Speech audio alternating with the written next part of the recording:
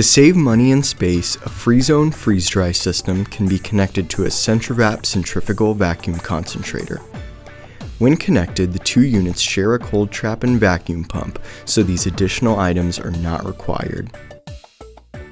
First, connect one end of the half-inch tubing to the CentriVap vacuum port.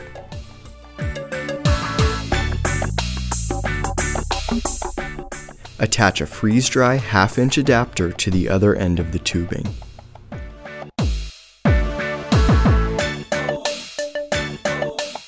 Insert the freeze-dry adapter into a chamber port on the freeze-dry system.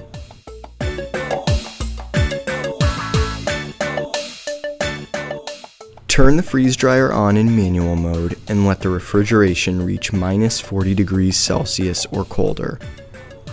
While the freeze dryer is cooling, preheat the CentriVap chamber to the desired set point.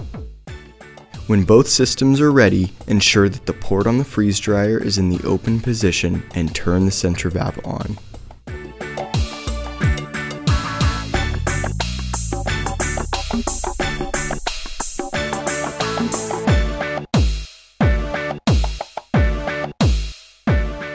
For more information, contact your LabConco representative.